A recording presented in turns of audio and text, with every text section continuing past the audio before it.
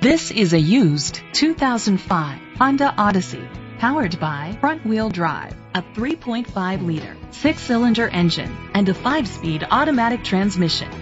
The features include an adjustable tilt steering wheel, a spoiler, cruise control, keyless entry, privacy glass, air conditioning, power windows, power steering, an AM/FM stereo with a CD player. Safety was made a priority with these features side airbags, second and third row head airbags, independent suspension, brake assist, traction control, stability control, a passenger airbag, front ventilated disc brakes, anti-lock brakes. Rest easy knowing this vehicle comes with a Carfax Vehicle History Report from Carfax, the most trusted provider of vehicle history information.